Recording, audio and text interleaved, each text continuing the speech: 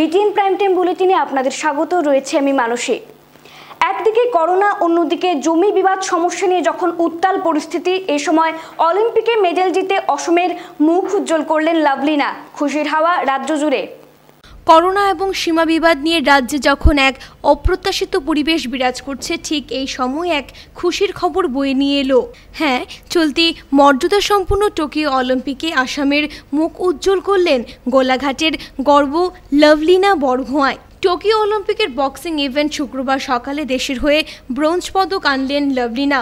এদিন প্রাক্তন বিশ্ব চ্যাম্পিয়ন চীনের নিয়াইং চিংচেংকে হারিয়ে ভারতের জন্য পদক নিশ্চিত করলেন আসামের গোলাঘাটের বড়মুখিয়া গ্রামের এই মেয়ে। প্রসঙ্গত ভারতের তারকা বক্সার মেরিকমের পর এই প্রথম কোনো ভারতীয় মহিলা বক্সার অলিম্পিকে দেশের হয়ে মেডেল আনলেন।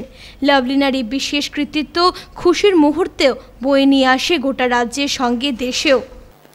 অঘোষিত অর্থনৈতিক অবরোধে শিলচর আইজল জাতীয় সড়কে আটকা পড়েছে শত শত লরি।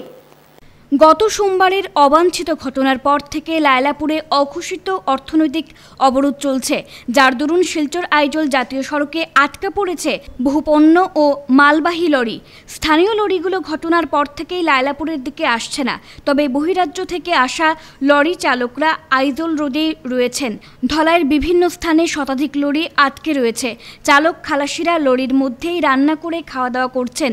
এ নিয়ে বিটিএনের সাথে কথা বলতে গিয়ে আটকা পড়া লরি চালকরা জানান অর্থনৈতিক অবরোধের ফলে সমস্যায় পড়তে হয়েছে তাদের মিজো পুলিশের গুলি চালানোর ঘটনার পর থেকেই মিজোরাম যেতে ভয় পাচ্ছেন তারা কোনো ধরনের ঝুঁকি নিতে চাইছেন না তারা তবে পরিস্থিতি স্বাভাবিক না হওয়া পর্যন্ত এখানেই থাকবেন हम आए हैं गुजरात से हाँ और आर जे चौदह आर जे बत्तीस हम्म जी बी बासठ बानवे नंबर गाड़ी है हमारी हम्म और रहने वाले हम राजस्थान के हैं अलवर जिला डिस्ट्रिक्ट जिला अलवर तहसील बहरोड गाँव शाजापुर जिला अलवर राजस्थान हम्म। ठीक है जी? दो दो इंसान हैं। हम्म। इनका नाम है एक मामचंद और वर्ड ऋषि और महावीर प्रसाद मीणा जी। हम्म। गाँव शाजापुर थैंक तो यहाँ पर क्यों रुके हुए हैं? हमारे को प्रॉब्लम व्हाट इज़ प्रॉब्लम ये है कि, कि हमारे को असम पुलिस आगे नहीं जाने दे रही है। अच्छा। हाँ आईजोल जाना है। अब वो कितना समय लगेगा इसका कोई पता नहीं। यहाँ तो खाने खुने का प्रॉब्लम हो रहा है क्या? खाने का तो क्या है अब होटल पे खा लेते हैं कभी बना लेते हैं। खाना वाना तो मिल ही जाता है जैसे आटा वाटा ले आते हैं मार्केट जा करके कितना गाड़ी रुका हुआ है? अब यहाँ गाड़ी देख लो कितना है कभी आगे भी है कुछ ये है ये। दूसरी जगह में तो है? दूसरी दूसरी बैक साइड में है। काफ़ी गाड़ी है। हाँ बिहाइंड साइड में है। जैसे my back back your Silchar. ठीक है? ओके हमको जाना है। आपका नाम क्या है? মহাবীৰ প্ৰসাদ মীনা জি আচ্ছা আচ্ছা এই আগৰ পিনে অলপ ৰিক্স হৈ আছে কাৰণে আমি যাব পৰা নাই হয়তো। এতিয়া ইয়াৰ পৰা যাব দিলেও আগত বা কিবা এটা হৈ গ'লে কোনে ৰিক্সটো ল'ব? সেইটো কাৰণে আমি ইয়াতে ৰখি আছোঁ চাৰিদিনৰ পৰা। এয়া। কিমান গাড়ী আছে? মোটামুটি ইয়াতে আছে পোন্ধৰ বিছখন তো ইয়াত ৰোকাৰ কাৰণে কোনো প্ৰব্লেম হৈছে নেকি এতিয়াতো একো অসুবিধা হোৱা নাই কিন্তু ধীৰে আৰ্থিকত অলপ বেয়া অসুবিধা হৈ আছে। খোৱা লোৱাটো অসুবিধা আহিবই দেচোন। হুম। আসামের জমি রক্ষার্থে জাতি, বর্ণ, ধর্ম নির্বিশেষে সকলকে একজোট হওয়ার আহ্বান জানালেন এজেপির সভাপতি লুরিনজ্যোতি গগৈ। আসামের জমি রক্ষার্থে রাজ্যের সকল জনগোষ্ঠী, জাতি, ধর্ম, বর্ণ নির্বিশেষে সকল মানুষকে এক হয়ে থাকতে আহ্বান জানালেন আসাম জাতীয় পরিষদ তথা এজিপির রাজ্যিক সভাপতি লুরিনজ্যোতি গগৈ। শুক্রবার লুরিনজ্যোতির নেতৃত্বে এজিপির এক প্রতিনিধি দল গুয়াহাটি থেকে ধলাই বিধানসভা সমষ্টির অসম মিজোরাম সীমান্ত বিবাদ এলাকা পরিদর্শন করতে এসে সাংবাদিকদের মুখোমুখি হয়ে এই মন্তব্য করেন। তবে একই সঙ্গে ক্ষোভ প্রকাশ করে তিনি বলেন, অঞ্চলটিতে আসার জন্য গুয়াহাটি থেকে অনুমতি মিললেও এখানে এসে সীমান্ত এলাকা পরিদর্শনে অনুমতি দেয়নি পুলিশ। এতে বেজায় চটেছেন লুরিনজ্যোতি। এজিপির সভাপতি তার সফরকালে প্রথমে মিজোদের গুলিতে নিহত পালংঘাট জিপির পুনির মুখের বাসিন্দা মজরুল হোসেন লস্করের বাড়িতে গিয়ে পরিবারের লোকেদের সঙ্গে কথা বলে সমবেদনা জানান। এরপর লায়লাপুর যাওয়ার উদ্দেশ্যে সেখান থেকে বেরিয়ে কাবুগঞ্জ আসামাত্র লুরিনজ্যোতির কনভয় আটকে দেয় পুলিশ। এখান থেকে শিলচর ফিরে যেতে পুলিশের তরফ থেকে বলা হয় তাকে। এ নিয়ে ক্ষোভ প্রকাশ করেন তিনি ও তার সফর সঙ্গীরা। লুরিনজ্যোতির অভিযোগ সীমান্তে ঘটনার সত্যকে ঢাকার জন্য তাদেরকে বাধা দেয় আসাম পুলিশ। ঘটনা নিয়ে রাজ্য সরকারের ভূমিকায় ক্ষোভ প্রকাশ করে তিনি বলেন মুখ্যমন্ত্রী এক এক সময় এক এক মন্তব্য করেছেন এ নিয়ে। মিজোৰামৰ এই আহ, ঘটনাত ছগৰাকীকৈ মানুহ আমি হেৰুৱালোঁ আমাৰ নিৰাপত্তাৰক্ষী আৰু সাধাৰণ জনতা। আজি এই অঞ্চললৈ আহিছোঁ আহ, শ্বহীদৰ পৰিয়ালসমূহ খবৰ ল'বলৈ। তাৰ উপৰিও যিসকল গুলীবিদ্ধ হ'ল তেওঁলোকৰ খবৰ ল'লোঁ মূল কথাটো হ'ল যে সাহস দিবলৈ আহিছোঁ কাৰণ বিপদৰ সময় সংকটৰ সময় আৰু এই সময়ত আমি সকলো এক হৈ যে আছোঁ। ৰাজ্যৰ মুখ্যমন্ত্ৰীয়ে কেন্দ্ৰীয় দিল্লীয়ে ক'লে বৰাক উপত্যকা গুৱাহাটী নলবাৰী এৰি দিম বুলি কৈছে। কিন্তু আমি কৈছোঁ যে আমি এক ইঞ্চি মাটিও এৰি নিদিওঁ। এই কথাত আমি এই ঐক্যবদ্ধ হৈ থকা কথাটোত আমি বৰাক উপত্যকা ব্ৰহ্মপুত্ৰ উপত্যকা সকলো জাতি জনগোষ্ঠী আমি এক হৈ আছোঁ। হিন্দু মুছলমান শিখ জৈন কোনো কথা নাই। কোনো জাতি জনগোষ্ঠীৰ কথা নাই। অসমৰ কাৰণে অসমৰ মানুহৰ কাৰণে আমি এক হৈ ইউ- ইউনাইটেড হৈ আমি এইটো কথাত আমি যুঁজ দিম ফাইট দিম। কিন্তু আজি অতি আশ্চৰ্যজনকভাৱে আমি যি স্থান ধলাইৰ বজাৰলৈকে ধলাই থানালৈকে আমাক যাবলৈ দিছিল। গুৱাহাটীত আমি যেতিয়া আৰম্ভ কৰিছোঁ তাৰ পৰা উচ্চ কৰ্তৃপক্ষই আমাক অনুমতি দিছিল। ইয়াতো উপায়ুক্ত মহোদয়ে ইয়াত তেখেতে তালৈকে যোৱাৰ অনুমতি দিলে। দিয়াৰ পাছত আমাক হঠাৎ জিলা প্ৰশাসনৰ পুলিচৰ তৰফৰ পৰা আহি যিগৰাকী আৰক্ষীৰ অ' চি তেওঁ আহি আমাক বাধা দিলে। প্ৰথম আমাৰ যি যিখন যি আমি হোটেলত আছিলোঁ সেই হোটেলৰ সন্মুখতে আহি বাধা দিছে। য'ত উপায়ুক্ত মহোদয়ে এটা স্থানলৈকে যোৱাৰ আমাৰ অনুমতি প্ৰদান কৰিছে পুৱাই। তাৰ পাছতো অ' চিগৰাকীয়ে কেনেকৈ বাধা দিলে? তাৰমানে কি প্ৰশাসন চলিছে? উপায়ুক্তৰ কথা বতৰা চলা নাই নেকি? নে অ' চিগৰাকী কোনোবা পলিটিকেল লিংকৰ লগত থাকি আমাৰ গোটেই কথাটোত বাধা সকা বাধা কৰিছে? গুৱাহাটীৰ কৰ্তৃপক্ষৰ মানুহে গুৱাহাটীৰ যি এডমিনিষ্ট্ৰেশ্যনৰ মানুহ আছে হায়াৰ অফিচিয়েল তেওঁলোকে দিয়া অনুমতি কোনো অৰ্থ নাই নেকি? এই কথা প্ৰমাণ হৈছে। কাৰণ তেওঁলোকে জানে যে এই সমগ্ৰ কথা বতৰাবোৰত যিটো মিজোৰামৰ সীমান্তত যি ঘটনা ঘটিলে, ইয়াত তেওঁলোকৰো চৰকাৰৰ যে দুৰ্বলতা আছে। কাৰণ ইতিমধ্যে বহু বহু মাটি তেওঁলোকে মিজোৰাম মিজোৰামৰ ফালৰ পৰা ইতিমধ্যে আগ্ৰাসন কৰিছে, তেওঁলোকে কাঢ়ি লৈছে। লায়লাপুর সীমান্তে আতঙ্ক জোর করে ক্ষেতের ফসল নিয়ে যাচ্ছে মিজো দুষ্কৃতীরা। মিজো আগ্রাসন অব্যাহত রয়েছে আসাম, মিজোরাম কাছার সীমান্তে। গুলিকাণ্ডের পর এবার জোর করে ক্ষেতের ধান ও সবজি নিয়ে যাচ্ছে মিজো দুষ্কৃতীরা। বারবার মিজো দুষ্কৃতীদের আক্রমণে অতিষ্ঠ হয়ে পড়েছেন লায়লাপুর সীমান্তের ফেসনগর, খাসিয়াপুঞ্জি ও পাগলাপাড়ার মানুষ।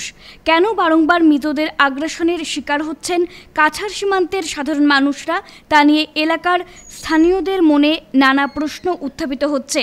এ নিয়ে বিটিএনের ক্যামেরার সামনে দাঁড়িয়ে স্থানীয়রা জানান ধানের ভালো দামের কারণে এবার চাষিরা আউশ ধান আবাদ করেছেন। এছাড়াও বেগুন, পটল, মরিচ শশা চিচিঙ্গা, ঝিঙে, কাকরোল ও পেঁপে সহ প্রায় সব ধরনের সবজির ক্ষেত করেন এখানের কৃষকরা। কিন্তু মিজো দুষ্কৃতীরা জোর করে ক্ষেতের ফসল নিয়ে যায়। তাদের গোটা জমির অর্ধেক ফসল দিয়ে দিতে হয় মিজো দুষ্কৃতীদের। এ নিয়ে কৃষকরা এখনই দিশেহারা। তাদের প্রশ্ন, আসামের জমিতে আসামের কৃষকরা মিজো দুষ্কৃতীদের নির্যাতনের শিকার হচ্ছেন, তা মোটেই মেনে নেওয়া যায় না।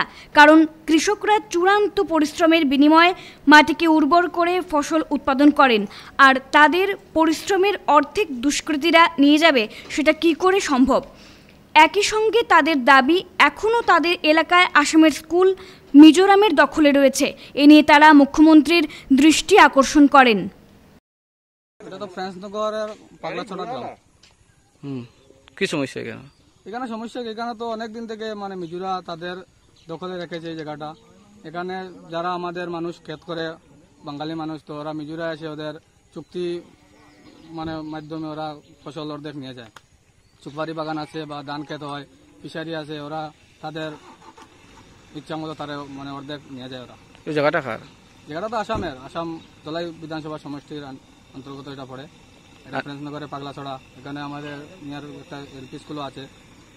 পনেরো সাতাশ নং এলপি স্কুল না দিলে তো ওরা মানে জোরজবস্তি করবে বা ওরা কোনো সময় মানে মানুষও বদলি করে দেয়। একজন কৃষক থেকে আরেকজন কৃষক বদলি করে দেয়। কিন্তু জায়গাটাও তো আপনারা জায়গা তো আসামের এটা তো মানে এখান থেকে পাঁচ কিলোমিটার ভিতরে আসামের জমি আছে। এখানে কতখান জায়গা আছে ক্ষেতের? এটা প্রায় পঞ্চাশ ষাট বিঘা ক্ষেতের জমি। টিলা তো আছে আপনার আরও সত্তর আশি বিঘার বেশি হতে পারে। কেমন মাটি মিজোরামত দখল আসামৰ এই এরিয়াত প্রায় দেড়শো হইব। তারা দখল? তারা দখলে আছে। এখানে কোনো পুলিশের ক্যাম্প ট্যাম্প কিছু আছে নি গত বছর তো একটা ক্যাম্প ডিওপি দেওয়ার কথা ছিল কিন্তু ডিওপি হয়নি। এখন বর্তমানে গতকালকে থেকে আমরা এলপি স্কুলে পুলিশ প্রশাসনে রেখেছি। এই জায়গার নাম হলো কি একটা এইখানে হলো কি প্রেসনগর খাসিয়াপুঞ্জি আর সামনে হলো কি পাগলাচড়া আর খাসিয়াপুঞ্জিতে হলো কি এলপি স্কুল। এটাও কয় তারার স্কুলটাও কয় তারার। আগে একবার আইসে ইয়া কইছে স্কুলটা তারা আর থোড়া করে ইসে ছেড়া কয় তারা মিজোরামর আমরা ইয়ে একবার ইয়া কইছে ইটালিয়া এরপরে আমরা লেন ইন্ডিয়ার জিও বোর্ড গেছে, আমরা পিটিশন গেছে আমরা খাজনাটা নেই মেন কইয়া দিয়া।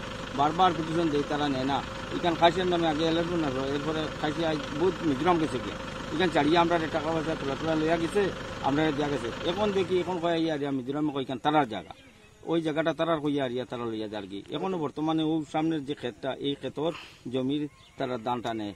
তাকে তারা মিজোরামে তারা বুটও দেয় ওখানো রেশনও খায় ওখানোর। ক্ষেত খাড়া করে এটা? আমরা বাঙালি মানুষ সব। কেমন ফ্যামিলি আছে এই এরিয়াত? এখানেও মিজোরামে নের বারো পরিবারের দান নেয় আর বাকিটাই আমরা দেই না সময় সময় লড়াই করি আর আমরা একটাই লাই আমরা বাক্কা মানুষ আছি তো পঁয়ত্রিশ পরিবার আছে। পশ্চিম সোনাইতে ধর্ষণের শিকার হওয়া মহিলার পরিবারের খোঁজ নিলেন সোনাইয়ের বিধায়ক। প্রায় দু মাস আগে পশ্চিম সোনাইয়ের মধুটিলার মণিপুরী পদবীর এক মহিলা ধর্ষণের শিকার হন। পরে পুলিশ অভিযুক্তদের গ্রেফতার করে, কিন্তু ধর্ষণ হওয়া মহিলা বর্তমানে হতাশায় ভুগছেন। হতাশায় ভুগছেন পরিবারের লোকেরাও। বৃহস্পতিবার এদের খবর নিতে মধুটিলার গ্রামে যান স্থানীয় বিধায়ক করিমুদ্দিন বরভূঁইয়া। এদিন তিনি স্বেচ্ছাসেবী মণিপুরী সংগঠনের সদস্যদের সঙ্গে নিয়ে পরিবারের সদস্য সহ স্থানীয় মানুষদের সঙ্গে কথা বলেন। ধর্ষণ হওয়া মহিলাকে স্বাভাবিক জীবনে ফিরিয়ে আনতে পার্শ্ববর্তী শিলচর মেডিকেল কলেজ হাসপাতালে কর্মসংস্থান পাইয়ে দিতে স্থানীয় লোকজনকে আশ্বাস দেন। প্রয়োজনে তিনি বিভাগীয় কর্মকর্তা ও মুখ্যমন্ত্রীর সঙ্গে আলোচনা করবেন। এছাড়া মধুটিলা এলাকায় বিশুদ্ধ পানীয় জল ও যোগাযোগ ব্যবস্থা উন্নত করে দেওয়ার আশ্বাস দেন বিধায়ক করিমুদ্দিন বরভূঁইয়া। বিধায়কের সঙ্গে মধুটিলা এদিন উপস্থিত ছিলেন সুনিতা দেবী গুণধন সিংহ জেলা যুব কংগ্রেসের সভাপতি জাবেদ আক্তার লস্কর প্রমুখ हम लोग इधर आए हैं वो अ, रेप केस मधु तिलक है रोमिता सिंह का उसका हम लोग एमएलए के साथ में देखने के लिए आया है कैसा है वो सब हम लोग सारे एक साथ में मिल के आ रहा है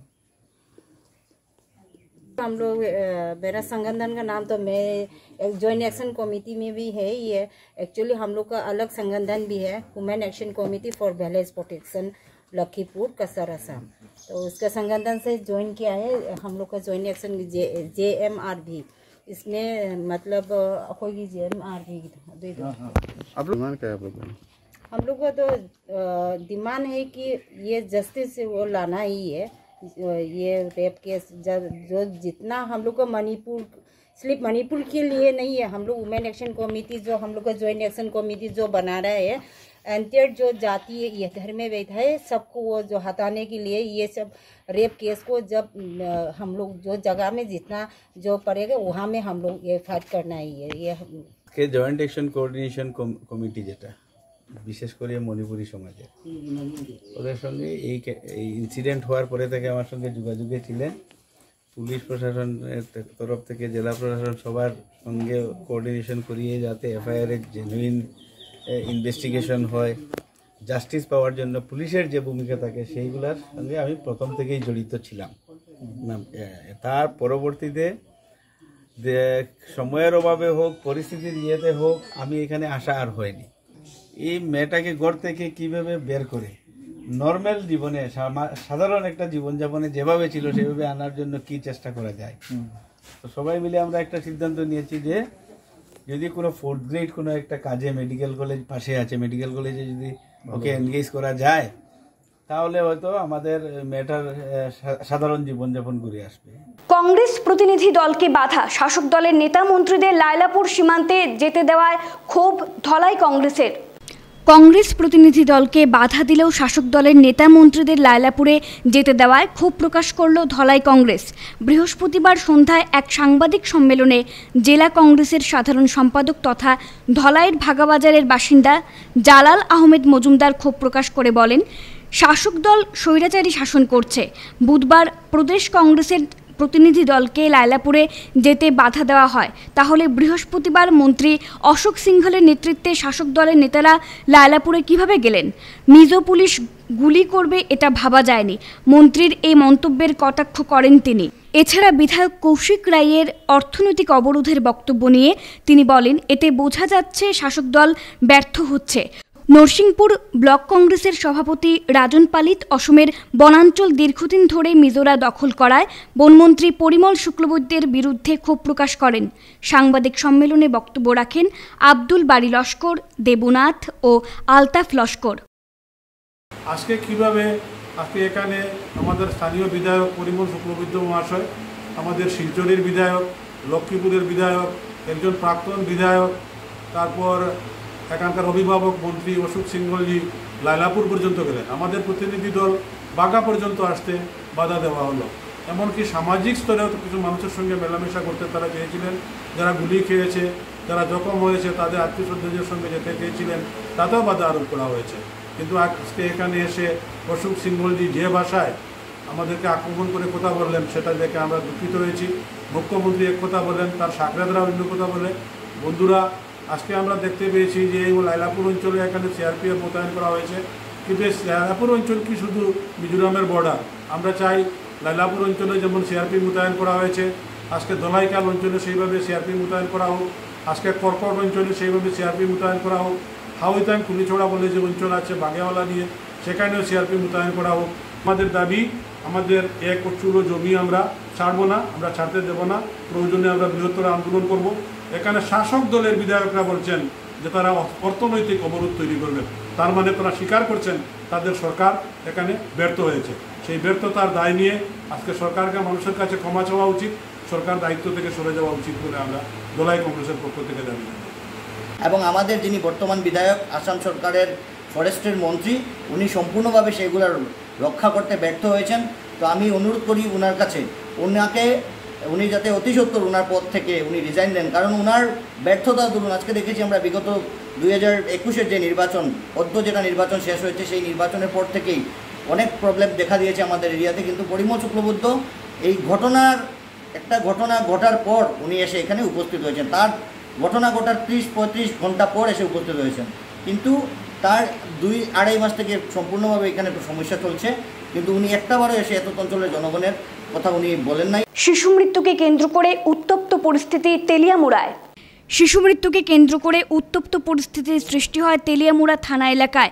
উত্তপ্ত পরিস্থিতির মধ্যে একসময় এলাকার স্থানীয় জনগণের ক্ষোভ এতটাই চড়া হয় যে অবস্থা সামাল দিতে গিয়ে পুলিশকে হিমশিম খেতে হয়।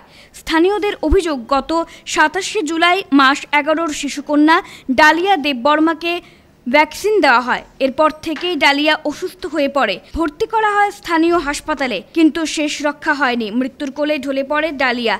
এরপরই ক্ষোভে ফেটে পড়েন স্থানীয় জনগণ।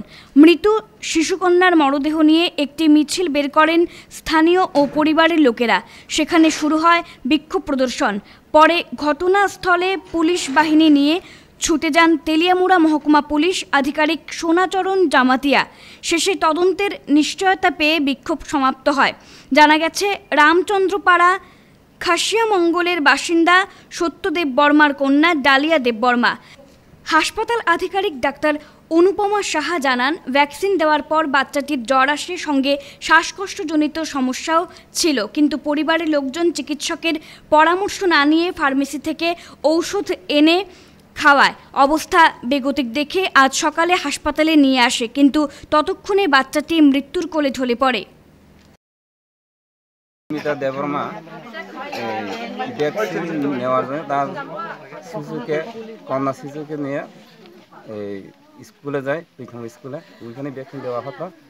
কিন্তু ভ্যাকসিনে পরে দুধ আয়াই শুধু বাইরে ফিলে আয়া দুধ খাওয়াইছে খাওয়াইছে পরে আধা ঘণ্টা হয়েছে না। এরপর তা কন্যাটা অসুস্থ হয়ে গেছে। এরপর ধীরে ধীরে এই কন্যাতে বাইরা, অসুস্থ বাইরা আজকে তার কন্যা মৃত্যু। মানে বাচ্চা হয়ে গেছে জানতে পারলাম যে গত সাতাশ তারিখে ওই বাচ্চার মা ভ্যাকসিন দিয়েছিল তাদের ছিল ভ্যাকসিন দেওয়ার ফলে বাচ্চাটা মানে এগারো মাসের বাচ্চা তারা তাদের গ্যাদারিং আছে এই আমাদের এসডিএম স্যার আর বিডিও স্যারও আস্তে আস্তে আসছে তারা আসলে পরে দেখা যাবে। ডালিয়া দেবর নামে একটা বাচ্চা এগারো বছরের আমাদের হসপিটালে দুইটা পঁয়তাল্লিশ নাগাদ নিয়ে আসা হয় যখন নিয়ে আসা হয় তখনই অলরেডি গ্যাস্ট্রিং অবস্থায় ছিল তো নিয়ে আসার উইদিন ফোর টু ফাইভ মিনিটসের মধ্যে মানে কোনো রেসপন্স ছিল না পিপল ডায়ালিট তারপর আমরা ওই সঙ্গে সঙ্গে ইসিজি করি তো ইসিজির মধ্যে মানে ফ্ল্যাট লাইন আসে মানে অলরেডি বাচ্চাটা মৃত অবস্থায় ছিল। মোটরসাইকেল ও গাড়ির মুখোমুখি সংঘর্ষে একজনের মৃত্যু আহত দুই। এক মর্মান্তিক সড়ক দুর্ঘটনায় প্রাণ হারিয়েছেন এক যুবক আহত আরও দুই যুবক। ঘটনাটি ঘটে তেলিয়ামুড়া থানাধীন ইচারবিল এলাকায়। জানা গেছে, নিহত অর্জুন তাঁতি ভারতীয় সেনাবাহিনীতে চাকরি করেন। খবরে প্রকাশ, অর্জুন তাঁতি অপর দুই যুবককে সঙ্গে নিয়ে মোটর সাইকেলে করে যাওয়ার পথে বিপরীত দিক থেকে আসা বিএসএফের একটি গাড়ির সঙ্গে মুখোমুখি সংঘর্ষ হয়। চালকের আসনে থাকা অর্জুন মাটিতে লুটিয়ে পড়েন। সঙ্গের অন্য দুই যুবকও ছিটকে পড়েন। রক্তাক্ত অবস্থায় গুরুতর আহত অর্জুনকে তেলিয়ামুড়া হাসপাতালে নিয়ে যাওয়া হয়। পরে তাকে আগরতলা জিবি হাসপাতালে স্থানান্তরিত করা হয় কিন্তু শেষ রক্ষা হয়নি। মৃত্যুর কোলে ঢলে পড়েন অর্জুন।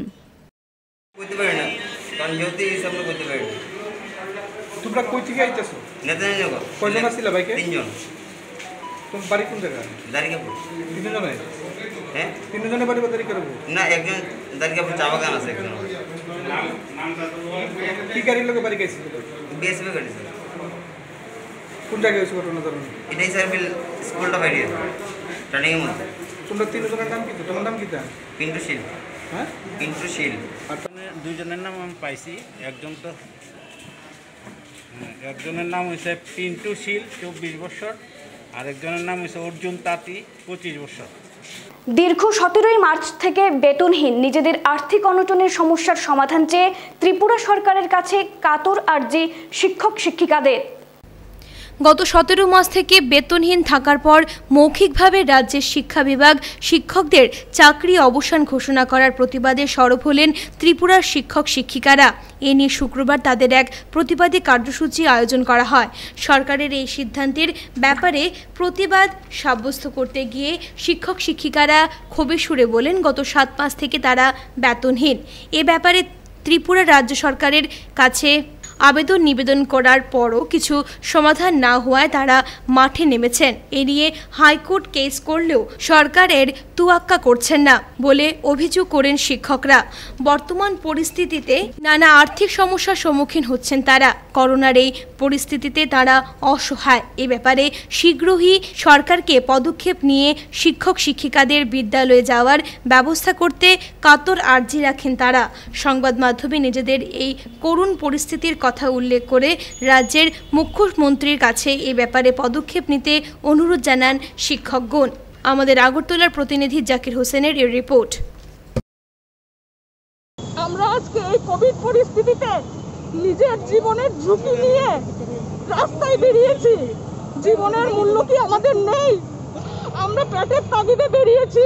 ছত্র মাস আমাদের বেতন নেই। আমাদের মধ্যে একশো জন প্রয়াত হয়েছে। শুধু চাকরির টেনশন করতে করতে আরও যে কতজন শয্যাশায়ী অবস্থায় আছে বলার মতো নেই। বেরিয়ে যাচ্ছি আজকে দু বছর ধরে।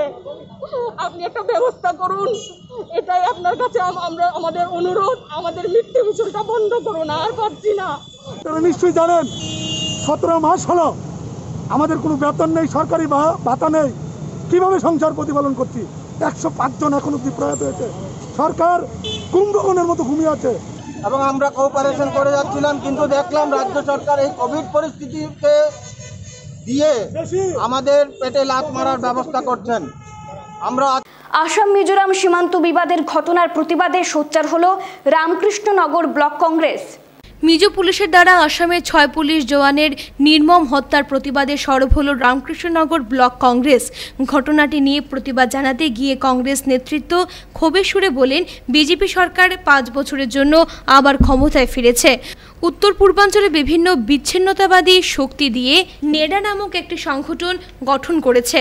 ত্রিপুরা, অরুণাচল, নাগাল্যান্ড, অরুণাচল, এদিন, মেঘালয়, মিজোরাম ইত্যাদি রাজ্যের যেসব বিচ্ছিন্নতাবাদী উগ্র আঞ্চলিক সংগঠন সেসব সংগঠনকে নিয়ে বর্তমানে বিজেপি দলটি রামকৃষ্ণনগর ব্লক কংগ্রেস কমিটির সভাপতি সুমন্ত দাস এই মন্তব্য করে তিনি আরও বলেন কেন্দ্র সাত বছর হয়ে গেল বিজেপি সরকার ক্ষমতায় এসেছে। এরপরও কেন সীমানার জমি বিবাদ, সমস্যার সুরাহা হল না? ভবিষ্যতে যাতে এ ধরনের ঘটনার পুনরাবৃত্তি না ঘটে, এর জন্য রাজ্য ও কেন্দ্র সরকারকে প্রয়োজনীয় পদক্ষেপ নিয়ে দাবি জানানো হয় কংগ্রেসের পক্ষ থেকে। একদিকে শুক্রবার দুর্লভছড়া ব্লক কংগ্রেস সভাপতি মঞ্জির আলীর পৌরোহিত্যে আনিপুর রাজভবনের সীমান্ত বিবাদের ঘটনায় নিহত ছয় জওয়ানদের জন্য এই প্রার্থনা সভা অনুষ্ঠিত হয়। দু মিনিট নীরবতা পালন করে শ্রদ্ধা জানানো হয় জমির অধিকারের শহীদ হওয়া জওয়ানদের। মৃত্যুর পরিবারবর্গকে জানানো হয় সমবেদনা।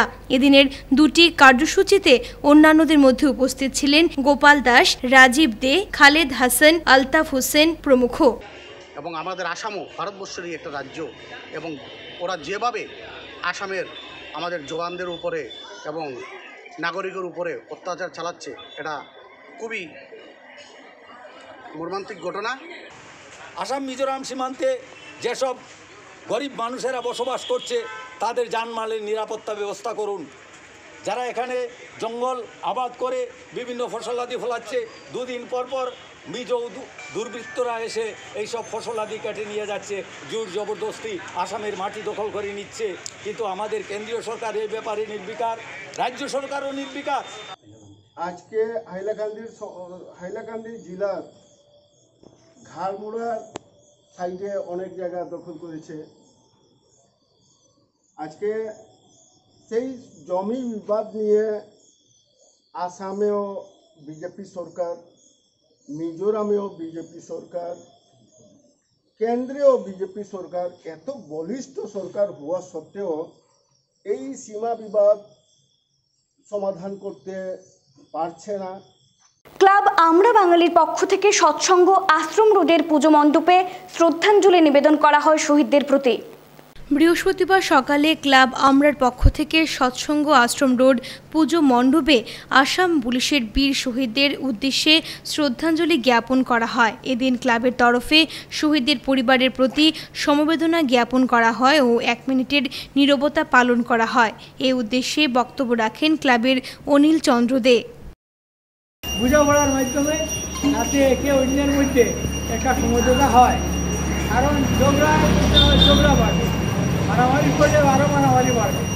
এটা এই সমস্ত জিনিস ত্যাগ করে আমরা সবাই যদি মিলে একত্রিত হয়ে একে অন্যের সমস্যা বুঝে নেই এবং একে অন্যের সাহায্য সহযোগিতা করি, এই সমস্ত আন্তরিকতা দিয়ে, ভালোবাসা দিয়ে নিজেদের সঙ্গে আমাদের সমস্যার সমাধান করতে হবে।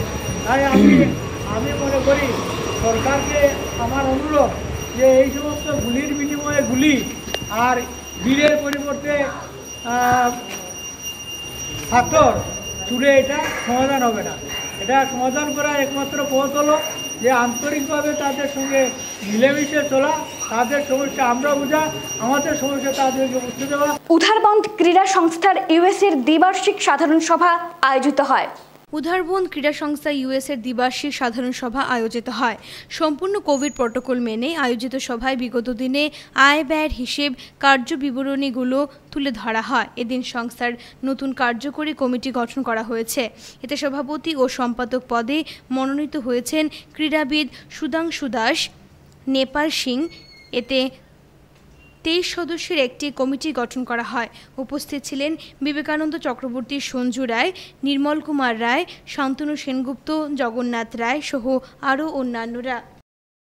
আমরা শিলচর জেলা ক্রীড়া সংস্থার পক্ষ থেকে আমি তাদের নবনির্বাচিত সভাপতি সুধাংশু দাস সম্পাদক নেপাল সিং এবং অন্যান্য সদস্যদেরকে আমি প্রথমে অভিনন্দন জানাচ্ছি। আগামীতে তারা যেন ক্রীড়াঙ্গনে খেলা খেলোয়াড়দের স্বার্থ চিন্তা করে তারা যাতে এগিয়ে যায় এবং আমার দৃঢ় বিশ্বাস এখান থেকেও তারা রাজ্য দলের জাতীয় দলের খেলোয়াড় তৈরি করতে পারবে আমরা শিলচর জেলা ক্রীড়া সংস্থা উদারবন ক্রীড়া সংস্থাকে সবসময় সহযোগিতার হাত বাড়িয়ে দেব, যাতে তারা খেলাধুলায় আরও এগিয়ে ধন্যবাদ। সার্ভিস অফ ম্যানকাইন্ডের তরফে অ্যাম্বুলেন্স চালকদের সংবর্ধনা জ্ঞাপন করা হলো বৃহস্পতিবার। বৃহস্পতিবার সার্ভিস অফ ম্যানকাইন্ডের তরফে অ্যাম্বুলেন্স চালকদের সংবর্ধনা জ্ঞাপন করা হয়। এদিন এক অনুষ্ঠানের মাধ্যমে সংবর্ধনা জ্ঞাপন করা হয় তাদের। পরে বক্তব্য রাখতে গিয়ে অ্যাম্বুলেন্স চালকদের নিরলস কাজের ভূয়সী প্রশংসা করেন প্রাক্তন পুর কমিশনার তমালকান্তি বণিক। আপাতকালীন সময়ে যেভাবে অ্যাম্বুলেন্স চালকরা নিঃস্বার্থভাবে তাদের দায়িত্ব পালন করে থাকেন, এরই পরিপ্রেক্ষিতে তাদেরকে সম্মান জানানোর উদ্দেশ্যেই এদিন এই উদ্যোগ হাতে নেয় সার্ভিস অফ ম্যানকাইন্ড। আমি জানি যে ওয়ান জিরো এইটের বা ওয়ান জিরো টুর কর্মচারী বৃন্দরা যারা রয়েছেন, তাদের চাকরিও স্থায়ীকরণ এখনও হয়ে ওঠেনি, আমার মনে হয়। আমি দু একবার কথাও বলেছি সেই বিষয়ে, এবং কথাবার্তাও হয়েছে আপনাদের ইউনিয়নের সঙ্গে, যাতে করে আগামী দিনে সরকার এই যে আপনাদের যে পরিশ্রম, আপনাদের যে সাহায্য, আপনাদের যে এত মানুষের প্রতি যে এত হৃদয় দিয়ে কাজ করার যে মনোভাব, সেই মনোভাবটাকে যাতে স্থায়ী করা যায় এবং আপনাদের পরিবারও যেন সেইভাবে ফলে পুষে। শহরে ট্রাফিক জ্যামের সৃষ্টি করি ট্রাফিক জ্যাম থাকলে কীভাবে অ্যাম্বুলেন্স এসে আমাদের এখানে পৌঁছাবে, এই চিন্তাটা আমরা করি না, শুধু বিচারক করি।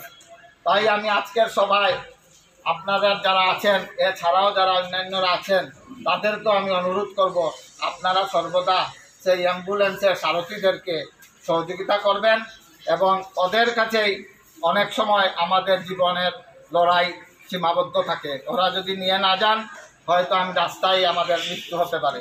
আমি বলব যে এই অর্গানাইজেশনটা সব সময় সব ধরনের বিপদ, সব ধরনের সব কিছুতে সব সময় এগিয়ে থেকেছে কিছু সময় ওরা কিছুতেই ভয় পায়, ভয় পায়নি। ওটা চাহে কোভিডে হোক বা মিজোরাম সীমান্তে রিসেন্টলি হওয়া ঘটনাটি হোক সবসময় ওরা সবসময় এগিয়ে এসেছে। কোনোদিনও নিজের নিজের থেকে সবসময় নিজের সার্ভিসকে প্রাধান্য দিয়েছে। তাই আমি বিশ্বদুষ চক্রবর্তী এই অর্গানাইজেশনে কাজ করে নিজেকে অনেক গর্বিত মনে করি সবসময় পরিবর্তন সামাজিক সংস্থার উদ্যোগে মিজোরাম সীমান্তে নিহত পুলিশ জওয়ানদের আত্মার চিরশান্তি কামনায় শোকসভা আয়োজিত। পরিবর্তন সামাজিক সংস্থার তরফে মিজোরামে সংঘটিত ঘটনায় যারা নিহত হয়েছেন, তাদেরকে শ্রদ্ধাঞ্জলি নিবেদন করা হয় কার্যালয়ের সামনে। এছাড়া যারা আহত হয়েছেন, তাদের আরোগ্য কামনা করা হয়। এদিন উপস্থিত ছিলেন চৌরঙ্গি থানার ইনচার্জ ধ্রুবজ্যোতি বরা অরবিন্দ দাস, শুক্কর দাস, অঞ্জন দাস সহ অন্যান্যরা। আজকে আমরা পরিবর্তন এনজিওর উদ্যোগে আমাদের আসাম মিজোরাম বর্ডারে লাইলাপুরে যে ছয়জন পুলিশের, আসাম পুলিশের যে ওদের প্রাণ বিসর্জনে আহত হয়েছেন এবং আরও প্রায় সত্তর জন জওয়ান আছেন, ওরা আহত অবস্থায় মেডিকেলে আছে। ওদের প্রতি আমরা বেদনা সুখ প্রকা- প্রকাশ করে আজকে আমরা এই সুখ প্রোগ্রামের আয়োজন করেছি। আমাদের মধ্যে এসেছেন আমাদের চৌরঙ্গি থানার ইনচার্জ মাননীয় ধ্রুবজ্যোতি স্যার মহাশয়, আমরা আমাদের বিভিন্ন অনুষ্ঠান উনি আসেন। তো আমি ওনাকে অশেষ ধন্যবাদ জানাই এবং আমি আজকে দু একটি কথা বলতে চাই। আজকে আমাদের ভারতবর্ষের মাটিতে থেকে ভারতবর্ষের মানুষের সঙ্গে এই ধরনের অত- অত্যাচার করছে মিজোরাম সরকার। এটা খুব অন্যায়জনক কাজ করছে। আমরা চাই আমাদের মতো প্রতিটা জায়গাতে, প্রতিটা গলিতে ওদের আমরা যে সুখসভা আয়োজন এভাবে করুক এবং ওদের বিরুদ্ধে গর্জে উঠুক। আর যে আজকে আমাদের ভারতবর্ষে থেকে, আজকে ভারতবর্ষের প্রশাসনের উপরে ওরা হাত উঠাচ্ছে। যে কাজগুলো করছে আমরা সম্পূর্ণরূপে দোষী। যে মিজোরাম সরকার সম্পূর্ণরূপে দোষী। আগরতলায় তৃণমূল কংগ্রেসের যোগদান মেলা। বিভিন্ন দল থেকে সাতজনের যোগদান। আগরতলায় তৃণমূল কংগ্রেসের প্রতিষ্ঠা হলো। বিভিন্ন দল ত্যাগ করে তৃণমূল কংগ্রেসে যোগদান করলেন সাতজন লোক। কনফারেন্স হলের জন্য আবেদন করলে সেটা খারিজ হয়ে যায়, তিনি বলেন। চল্লিশ জন তৃণমূলে যোগদান করতে চেয়েছিলেন, কিন্তু মাত্র সাতজন যোগদান করেছেন। কংগ্রেস, বামপন্থী ও বিজেপির বিভিন্ন কর্মীরা তৃণমূলে যোগদান করছেন। আগামী দু হাজার চব্বিশের লোকসভা নির্বাচনে দিল্লির মসনদে বসতে চলেছেন জোড়াফুলের সুপ্রিমো তথা পশ্চিমবঙ্গের মুখ্যমন্ত্রী মমতা ব্যানার্জি। এরই সুবাদে ত্রিপুরায়ও আগামী দিনে সরকার গঠন করার পরিকল্পনা রয়েছে তৃণমূলের। এছাড়া তৃণমূলের যুব আইকন তথা মুখ্যমন্ত্রীর ভাইপো অভিষেক ব্যানার্জি সোমবার ত্রিপুরায় আসছেন। জাকির হোসেন, আগরতলার প্রতিনিধি এই খবরটি জানিয়েছেন। আপনারা আমাকে দায়ী করেন। যে এই রাজ্যে বিজেপিকে ক্ষমতা আসার জন্য আপনি দায়ী আজকে যে এই রাজ্যে অব্যবস্থা হচ্ছে আজকে যে এই দুর্নীতি হচ্ছে এমন একটা জনবিরোধী সরকার এখানে চলছে তার জন্য আপনারা কিন্তু সবাই আমাকে দায়ী করেন এবং আমি সেটাকে মেনে নিয়েছি এবং বিজেপিকে এক শতাংশ থেকে যদি আমি দায়ী হয়ে থাকি তাহলে সেটাকে সংশোধন করার দায়িত্ব আমরা নিয়েছি। দু হাজার তেইশে এখানে তৃণমূলের সরকার হবে মমতা ব্যানার্জির সরকার হবে অভিষেক বন্দ্যোপাধ্যায়ের নেতৃত্বে আমরা লড়াই করে এখানে আমরা গণতন্ত্র কংগ্রেসের নেত্রী নেতৃবৃন্দ এখানে এসছেন, আমরা শুনতে পেয়েছি, টিভিতে দেখেছি পশ্চিমবঙ্গে বিরাট একটা জয় করে, একটা সাম্প্রদায়িক শক্তিকে, একটা স্বৈরচারী শক্তিকে হারিয়ে ওনারা ত্রিপুরা এসছেন। ওদেরকে অভ্যর্থনা জানাতে, শুভেচ্ছা জানাতে আমরা এখানে এসেছি। আগামী দিনে কি মানে তৃণমূলকে আরও শক্তিশালী করতে আপনাদের কোনো ভূমিকা রয়েছে? ভূমিকা থাকতে পারে? এরকম কোনো কথা হয়নি আমাদের সঙ্গে। আমরা তাদের শুভেচ্ছা জানিয়েছি এবং তারাও আমাদের পাশে থাকবে আমরাও তাদের পাশে থাকব। এই কথাই হয়েছে। আগামী দিনে ভবিষ্যতে সাম্প্রদায়িকতার বিরুদ্ধে লড়াই করতে স্বৈরচারী শক্তির বিরুদ্ধে লড়াই করার জন্য আমরা ঐক্যবদ্ধভাবে কাজ করব কংগ্রেস তৃণমূল সবাই। শ্রমজীবী মানুষের নাভিশ্বাস উঠছে। লকডাউনে কাজ হারিয়ে নিরুপায় অনেকেই। রাজ্য সরকারের দৃষ্টি আকর্ষণ। বর্তমান কোভিড পরিস্থিতিতে শ্রমজীবী মানুষের অবস্থা বেহাল। দুবছর যাবৎ সব কাজকর্ম বন্ধ হয়ে রয়েছে। এমনকি যাদের অধীনে মানুষগুলো কাজ করত, সেখান থেকেও মনিব তাদেরকে বের করে দিয়েছে। এছাড়া সরকারি বিভিন্ন সুযোগ সুবিধে থেকে ওরা বঞ্চিত। তারা সরকারের প্রতি আবেদন রাখেন, তারা যেন প্রকৃতভাবে সরকারি সুবিধেগুলো পায়। তারপর লকডাউন থাকার দরুন কোনো লোকই অর্ধেক দিনের কাজে রাখতে চায় না। কিছু কিছু লোক তো কেন্দ্রীয় সরকারের নির্দেশ মতে যে চাল বন্টন করা হচ্ছে সেগুলোও পায় না। এভাবে চলতে থাকলে মানুষ না খেয়ে মরে যাবে। এ নিয়ে সরকারের দৃষ্টি আকর্ষণ করেন তারা। খবরটি জানিয়েছেন জাকির হোসেন। লকডাউন বিভিন্ন রকমের কাজ নাই কোনো কাজ বাড়ি ঘরে কাজ করতে না বাবু আপনার কীভাবে বাঁচতাম আমরা কাজ করব না আমরা বাচ্চা বাচ্চা কিনে বাঁচবো আপনারা বাসায় দিয়ে আপনার আর কোনো সাহায্য দেওয়ার সঙ্গে চলে না ঠিক আছে না? মাসে আপনার দশ পনেরো হাজার টাকা খরচ যায় প্রত্যেকটা ফ্যামিলি আগে আগের থেকে লকডাউনে তো আমাদের কমছে কাজ। আগের মতো তার কাজ করব না দিব। আমার আমাকে দে ইয়ে আর কি? করো সরকারি ভাতা টাতা পাননি আমরা। হ্যাঁ? সরকারি ভাতা টাতা পাননি। না।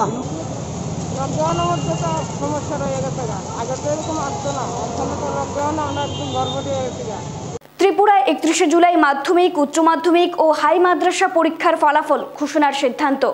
মাধ্যমিক উচ্চ মাধ্যমিক ও মাদ্রাসার ফলাফল একত্রিশ জুলাই দুপুর বারোটায় প্রকাশিত হবে। আগাম এই সংবাদটি জানিয়েছেন শিক্ষামন্ত্রী। উনত্রিশে জুলাই জাতীয় শিক্ষানীতির এক বছর পূর্তি উপলক্ষে প্রত্যেক রাজ্যের মুখ্যমন্ত্রী, শিক্ষামন্ত্রীর সাথে ভার্চুয়াল সভা করেন। পরে খবরটি জনস্বার্থে প্রচারিত হবে। বর্তমানে করোনার প্রকোপে স্কুল বন্ধ রয়েছে, তবে স্বাস্থ্য দপ্তরের অনুমতি পেলে স্কুল খোলার চিন্তাভাবনা করা হবে। শিক্ষামন্ত্রী রতনলাল নাথ বলেন, শিক্ষা পর্ষদের তরফ থেকে একত্রিশে জুলাই ফল ঘোষণা করা হবে।